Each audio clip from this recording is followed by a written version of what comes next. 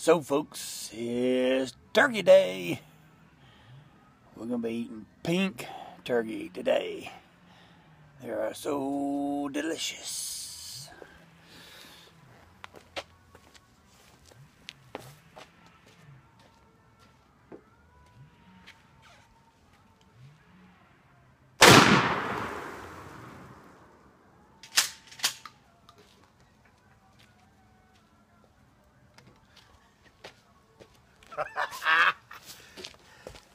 turkey, turkey, turkey.